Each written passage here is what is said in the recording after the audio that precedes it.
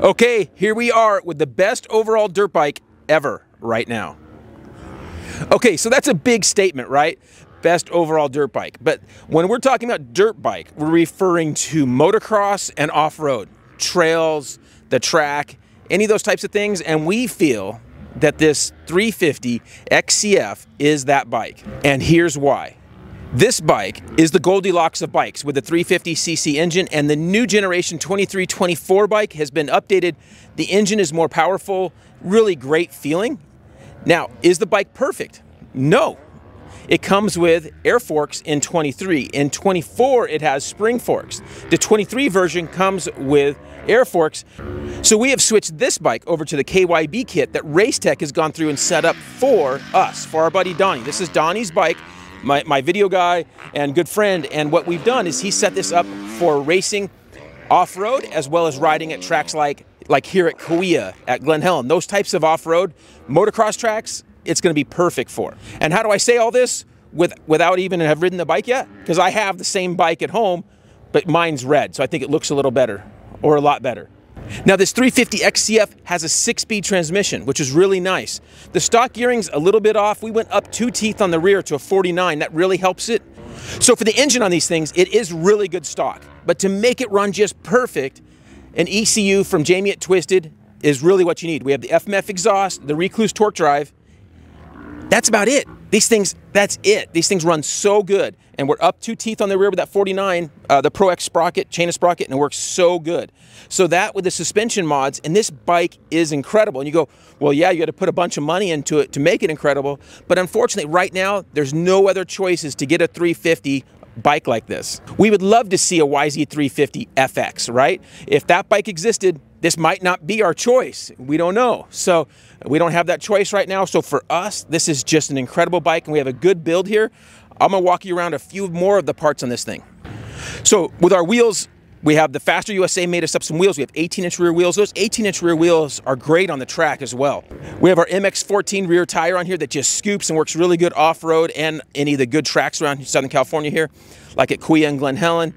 We have that MX33 up front. We have our Works Connection hole shot devices. Donnie's gonna be doing some races in this thing. That's gonna help on those starts.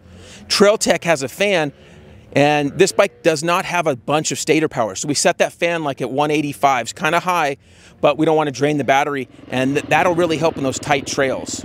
Uh, you, it won't kick on a ton in the more wide open desert stuff, just in the tight trails it, it'll kick on. We have Scar foot pegs, which give us a really good footprint titanium pegs. We have the OEM hand shields. Those are really nice. They bolt up really nicely and look really good. And if you don't want to run it wraparounds, this is a great option for these bikes.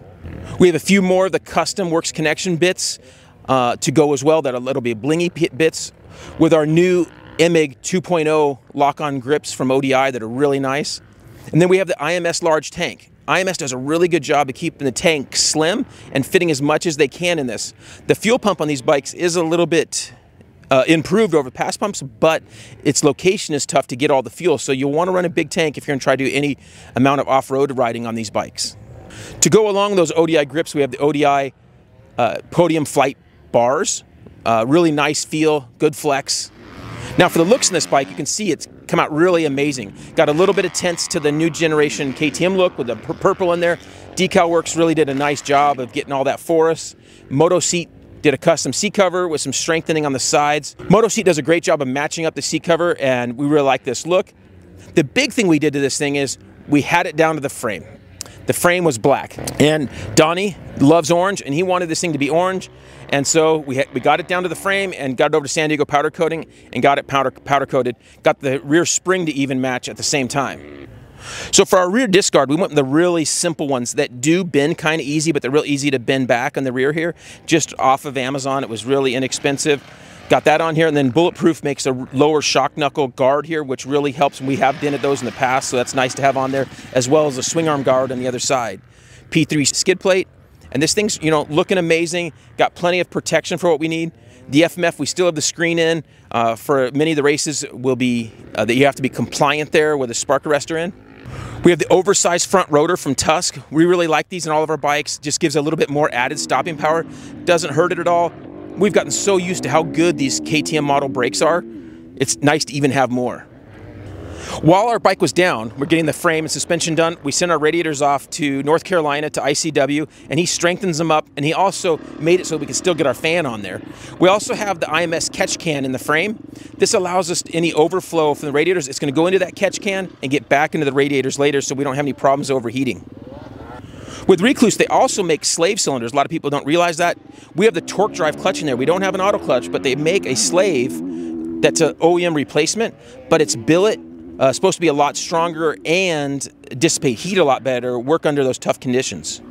If you're looking for anything dirt bike related, parts, gear, anything like that, head over to our website or the link in the description below and click on the Rocky Mountain link.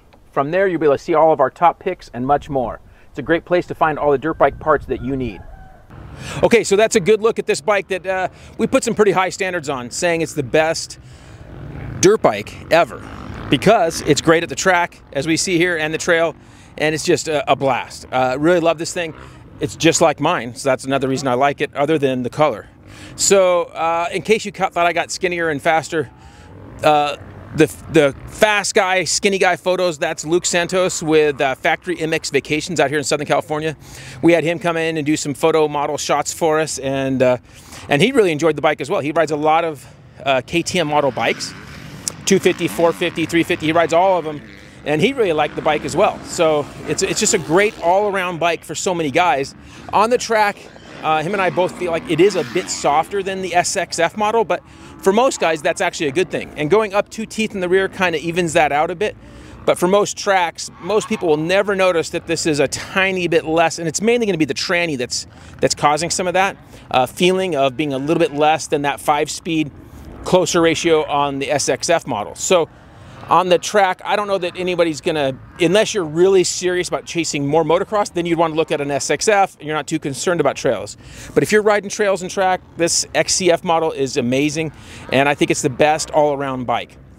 On these tight trails that you see us riding in here, I'm in second gear on almost everything, and then we can pop into third a lot quicker than you might think, which is really nice with this gearing. Really like that the feel of this thing, it just chugs and you can keep going. And that's one of the reasons we like it so much more than a two stroke on the trails.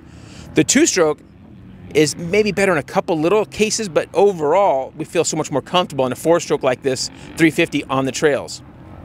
On the track, this bike is fully capable. As you see uh, Luke spinning some laps and uh, giving some uh, some whips and so forth on some of these jumps and just ripping these turns. The bike is incredible on the track. And that MX-14 hooks up really well and does really well off-road as well.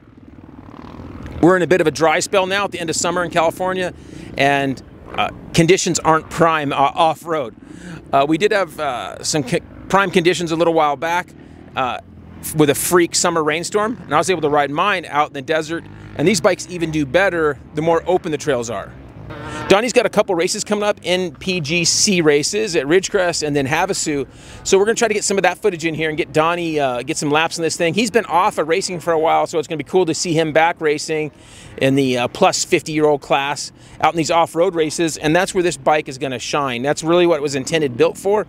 And uh, it's going to time to go get this thing beat up racing.